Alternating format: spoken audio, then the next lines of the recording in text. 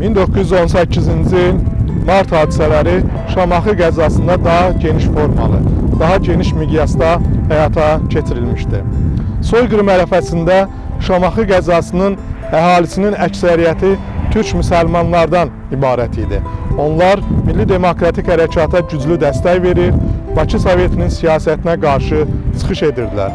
Ona görə Bakı Soveti, Erməni Milli Şurası və Daşnaqsü Partiyasının dəstələri milli hərəkatı zəiflətmək üçün, onun sosial bazasını məhv eləmək üçün Şamaxı qəzasını özləri üçün hədəf seçmişdilər. Və Şamaxı şəhəri o vaxt çox millətli şəhər də hesab olunurdu.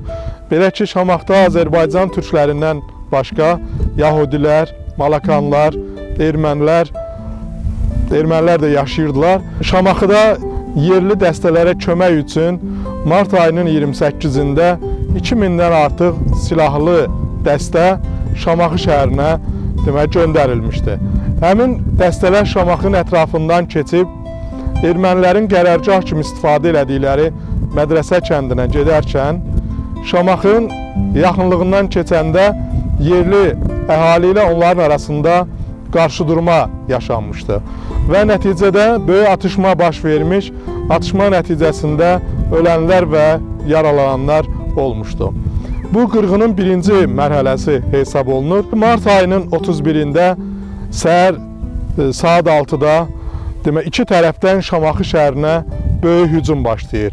10 topdan və yüzlərlə pulemyotdan istifadə edən Bakı Soveti, erməni quldur dəstələri, Daşnaqsun qüvvələri Şamax şəhərində böyük qətliama demək başladılar. Və həmin qətliam zamanı ən ağır işgəncə növlərindən, üsullarından yəni istifadə olunurdu.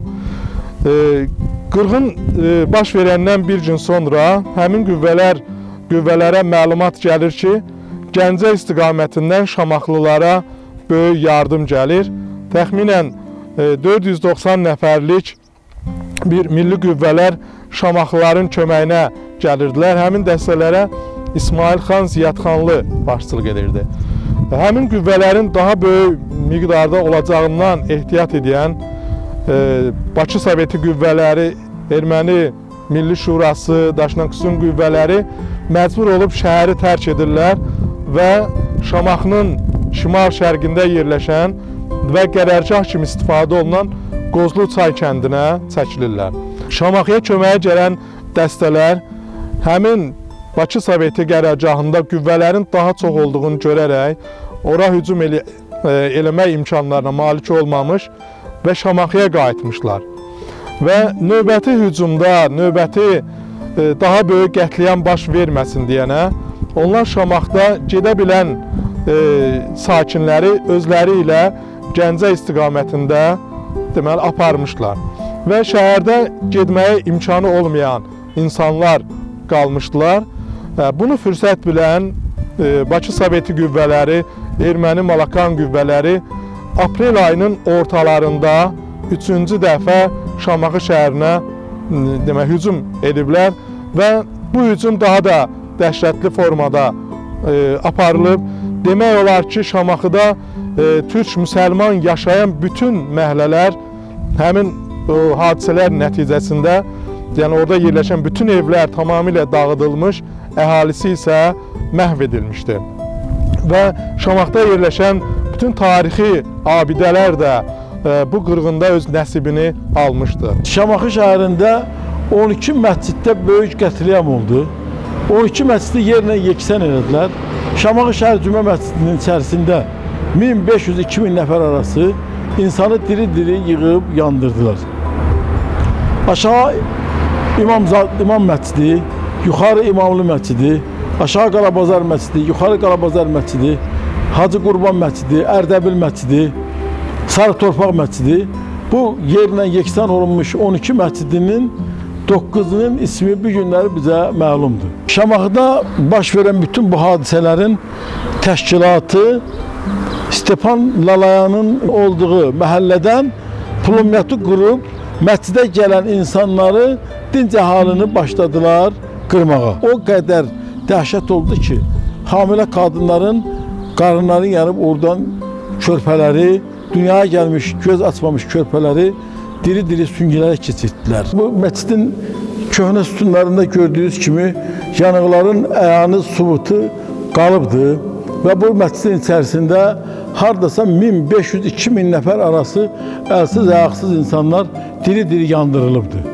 7 cildlik 925 vərəqdən ibarət olan təhqiqat materiallarında da Əncixaran soyqırımı haqqında geniş məlumatlar verilmişdir. Azərbaycan tarixində ən dəhşətli günlərdən biri olan 31 mart soyqırımı hal-hazırda dayandığımız Şamaxı rayonunun Əncixaran kəndindən də yan keçməmişdir. Soyqırım ərəfəsində Əncixaran kəndində 1000 nəfərdən artıq əhali yaşayırdı və həmin əhali mənşəyinə görə müsəlman türklərdən ibarət idi. Və kənd e, cəmaatı e, Bakı Sovetinin siyasətinə qarşı çıxır, müstəqillik ideyalarını müdafiə edir, milli demokratik hərəkata güclü dəstək verirdi. Ona görə də Bakı Soveti qüvvələri, erməni Malakan qüvvələri ilk növbədə Şamaxıya hücum güzərgahı üzərində yerləşən bu türk-müsəlman kəndini məhv etmək, onu öz yolları üzərindən çəkmək və buradan Şamaxıya rahatca hücum etmək niyyətləri var idi. Erməni Malakan qüvvələri kəndə soxularaq kənd cəmaatına qarşı böyük bir qətliam törətdilər.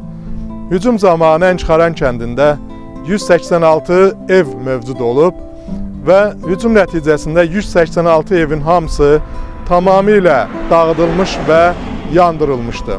Əncixaran kəndində e, cümə məscidi mövcud olub.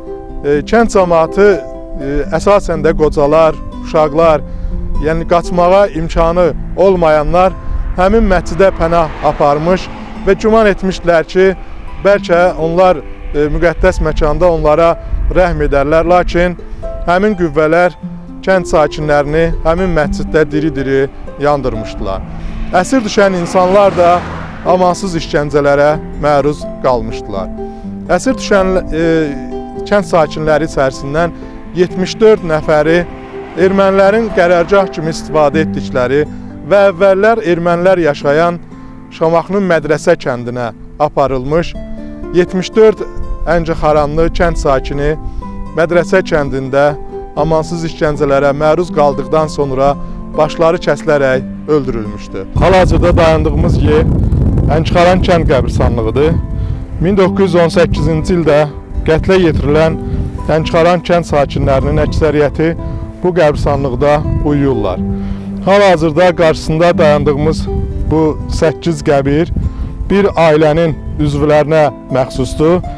1918-ci ildə ermənilər tərəfindən həmin ailənin bütün üzvləri amansız şəkildə qətlə yetirilmişdir. Kənddə elə həyətlər var ki, həyətyanı sahələrin özündə də məzarlıqlar yəni yerləşir. Həmin vaxt kənd sakinlərinin bütün e, ölən insanları gətirib bu qəbirstanlıqda bastırmaq imkanları olmamışdı. Ona görə də öz həyətlərində həmin 18-ci ildə yəni bu soyqırımın qurbanı olan insanları dəfn etmişdilər.